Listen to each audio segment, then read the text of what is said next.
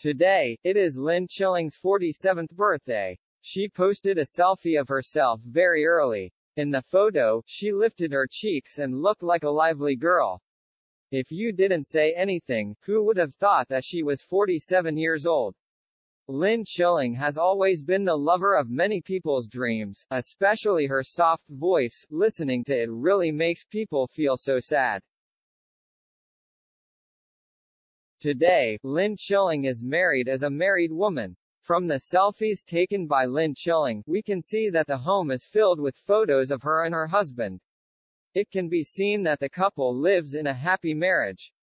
Lin Chiling also wrote a paragraph while posting the photos, Thank you mother and life. Thank you for every sincere heart, thank you for every miracle, thank you who can't live up to your age, for being brave and soft.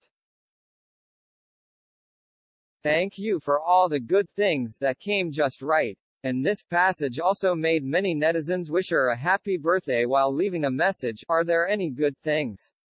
In fact, Lin Chiling has been actively preparing for pregnancy since she was just married, so everyone is also closely related to her current situation.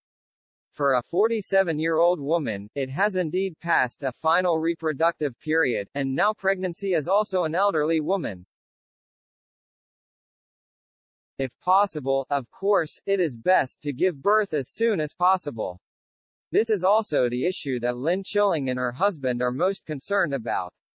Therefore, when Lin Chiling's last sentence everything came just right, everyone thought of whether they were pregnant or not. But these are just speculations of the people who eat melons. I hope Lin Chiling will tell us the good news soon.